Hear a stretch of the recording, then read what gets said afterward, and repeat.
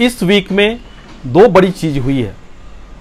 एक, पहला air India का वापस टाटा के पास जाना और दूसरा आरबीआई की लेटेस्ट नई मॉनेटरी पॉलिसी तो आज हम लोग डिस्कस करेंगे इन्हीं बातों पे वीकली फंडा में। वीडियो को आगे देखने से पहले काइंडली सब्सक्राइब करें। अगर आपने सब्सक्राइब किया हुआ है तो thank you very much bell icon भी ज़रूर दबाएँ ताकि तमाम नोटिफिकेशन हर वीक में जो तीन चार वीडियो डाली जाती है नई उसके बारे में आपको जानकारी मिल सके। नमस्कार।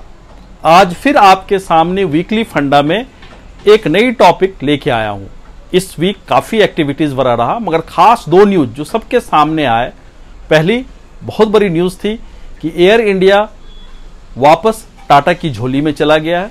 एयर इंडिया इतने सालों तक स्ट्रगल करने के बाद फिर से उसके ओरिजिनल पेरेंट्स क्योंकि टाटा ने ही इंडियन एयरलाइंस की शुरुआत की थी, जिसे बाद में गवर्नमेंट ऑफ़ इंडिया ने ले लिया था, मगर आज फिर वापस चला गया। तो निश्चित रूप से एयर इंडिया के भाग्य भी बदलने वाले हैं, और उससे रिलेटेड जो भी सर्विसेज़ हमें मिलती थी, निश्चित रूप से वो बेहतर होने वाले हैं। ऐसा हम अंदाज़ा कर सकते हैं। मगर ये तो थी पहली न्यूज़ मगर दूसरी बड़ी न्यूज़ एक आई कि शक्तिकांता दास जी आरबीआई के गवर्नर ने अपनी नई मॉनेटरी पॉलिसी की अनाउंसमेंट की।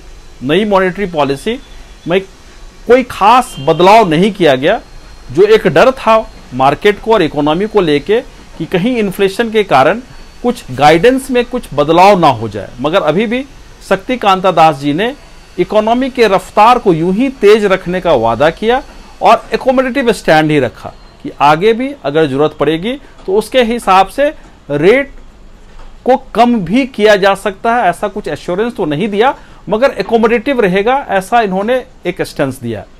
न्यूट्रल स्टेंस भी इन्होंने नहीं लिया। अगर रेपो रेट की बात करूँ तो रेपो रेट आज भी जस की तस वही 4 परसेंट पे है और रिवर्स रेपो 3.5 परसेंट पे है।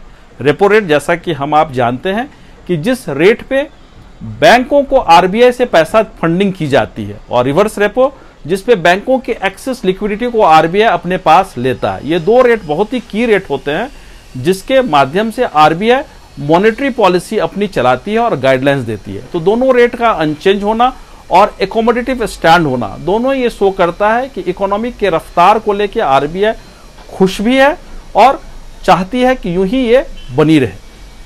ये एक अच्छी न्यूज़ है इकोनॉमी के लिए। दूसरी एक और एस्पेक्ट उन्होंने दिया कि थोड़ी सी और बदलाव की है कि जो आईएमपीएस जो इमीडिएट पेमेंट सिस्टम था, कि एक अकाउंट से दूसरे अकाउंट में इमीडिएट बेसिस पे पहले दो लाख रुपया ही ट्रांसफ़र किए जा सकते थे, उसको भी बढ़ा के अब पाँच लाख कर दिया गया। ये भी एक वेलकम स्टैंड है, क्योंकि जो जो इकोनॉमी की साइज़ बड़ी हो रही है तो लेन देन और बढ़ेगा, और लेन देन बढ़ने के लिए इमीडिएट पेमेंट ट्रांसफ़र पाँच लाख का हो जाए तो वो एक काफ़ी अच्छा एक कदम बोल सकते हैं।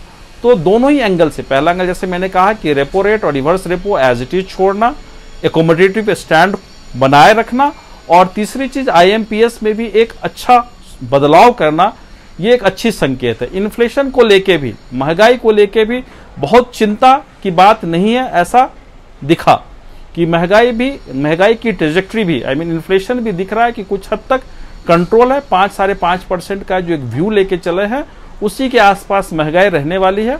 इस तरह से एक अंदाज़ा लगाया जा रहा है। जो जीडीपी ग्रोथ का भी आंकड़ा जो उन्होंने दिया कि 9.5 परसेंट के आसपास जीडीपी ग्रो भी हमारी कंट्री की करनी चाहिए। तो सारे आंकड़े ऐसे हैं जो एक मज़बूत इकोनॉमी की तरफ़ इशारा कर रहा है और हमारे देश के लिए जो एक उम्मीद थी लोगों को, उसी के हिसाब से चल भी रही है। तो आरबीआई की इस पॉलिसी गाइडलाइन के माध्यम से आप ये श्योर हो सकते हैं कि आरबीआई पैनी नज़र रखी हुई है इकोनॉमिक गतिविधियों पे भी एज वेल एज महँगाई और इन्फ्लेशन पे भी और टाइम टू टाइम जो मॉनेटरी पॉलिसी के माध्यम से वो ज़रूरी गाइडलाइंस देती है, उस गाइडलाइंस को इस बार एज इट इज़ बनाए रखा है, यानी कि अभी के रफ्तार से वो खुश भी है और इस तरह से आगे की इकोनॉमी की दशा और दिशा को आगे भी निर्धारित करते रहेगी, ऐसा उम्मीद करते हैं। अगर इन्वेस्टमेंट की दुनिया से रिलेटेड फाइनेंस इकोनॉमी की दुनिया से रिलेटेड आपके मन में कोई और सवाल हो, कोई और प्रश्न हो तो ज़रूर आए और पूछें। आज का ये वीकली फंडा में मैंने यही इसलिए टॉपिक चुना, क्योंकि भी जस्ट कल ही ये आया था एमपीसी मॉनेटरी पॉलिसी पॉलिसी जो अपनी आरबीआई की थी, इसके लिए आज चर्चा के। बहुतों लोगों के बहुत सारे सवाल थे कि इससे क्या असर पड़ेगा। तो इससे एज इट इज़ सब कुछ अच्छा ही दिख रहा है, ऐसा कोई निगेटिव असर दिखने की दूर नहीं लग रही है। तो नमस्कार, फिर से हम लोग मिलते हैं जल्दी ही अगले वीकली फंडा में। Thank you very much